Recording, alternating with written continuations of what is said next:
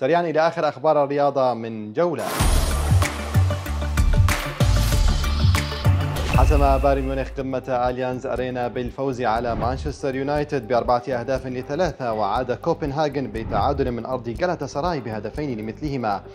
وسجل أرسنال بداية قوية في مرمى أيندهوفن برباعية نظيفة في حين حسم التعادل بهدف مباراة إشبيليا ولونز وأنقذ الإنجليزي بيلينغهام فريقه ريال مدريد من التعادل بعد خطفه هدف الفوز القاتل على حساب يونيون برلين. في حين عاد نابولي بفوز ثمين من أرض سبورتينغ براغا بهدفين لهدف.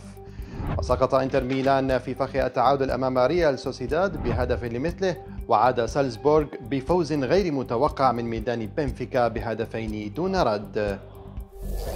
سقط منتخب قطر الأولمبي أمام نظيره الياباني بثلاثة أهداف لهدف منافسات كرة القدم ضمن دورة الألعاب الآسيوية في الصين.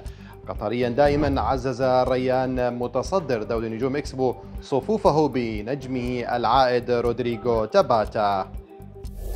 كشف برشلونة عن تجديد عقد لاعبه أليخاندرو بالدي حتى يونيو 2028 وبشرط جزائي بلغ مليار يورو.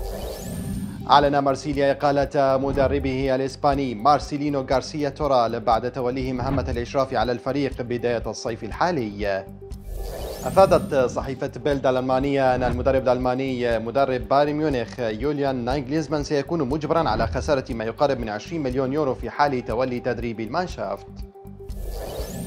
أكد مدرب مانشستر سيتي الإسباني بيب غوارديولا غياب البرتغالي برناندو سيلفا لأسابيع عن فريقه بسبب الإصابة. في حين أعلن توتنهام رسميا إصابة نجمه الكرواتي إيفان بيريسيتش بقطع في الرباط الصليبي.